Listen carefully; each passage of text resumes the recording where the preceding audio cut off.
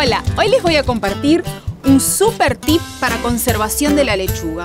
Llegamos a casa, queremos tenerla ya limpia y pronta para consumirla. Bueno, primeramente hay que lavarla.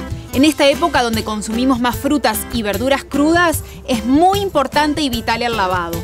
Luego lo que vamos a hacer es secarlo. Tenemos papel de cocina fácil. Hoja por hoja, la secamos.